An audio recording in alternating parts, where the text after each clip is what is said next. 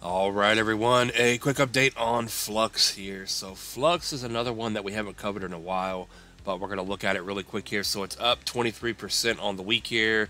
Uh, another asset here that broke the uptrend, came all the way down to that final support level, the 786 here. Uh, did dip below it, of course, but 43 here. Got a nice little bounce going here. We're back above the macro 236 and the low to the high 618. So as long as we're over 58, uh, this thing is still trying to push higher. We're currently at 60. And as, uh, of course, as long as we're over the macro 236, that tells us that 786 support level was the bottom here.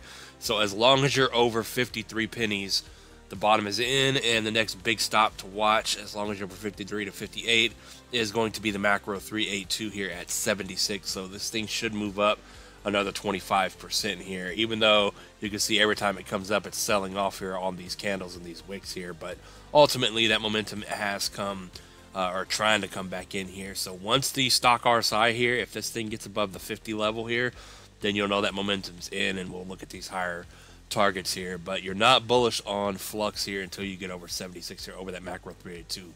So just keep an eye on those prices there. Let's move this up to where we are today. So from 60 cents, how high is this thing going to go?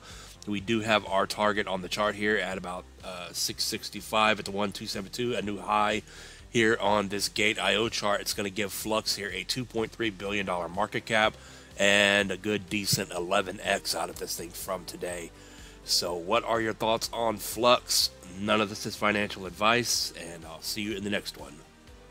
Peace out.